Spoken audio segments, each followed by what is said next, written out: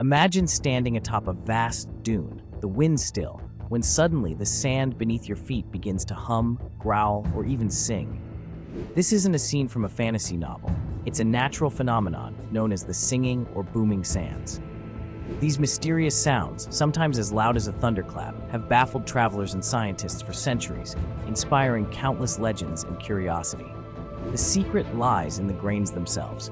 For sand to sing, the grains must be round, uniform in size, and extremely dry. When thousands of these grains cascade down a dune's slope, they rub against each other in perfect harmony, creating vibrations that resonate through the air.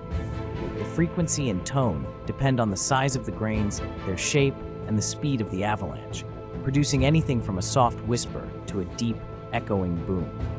This rare combination of conditions means that only certain dunes around the world, like those in the Gobi Desert and California's Kelso Dunes, are renowned for their haunting songs.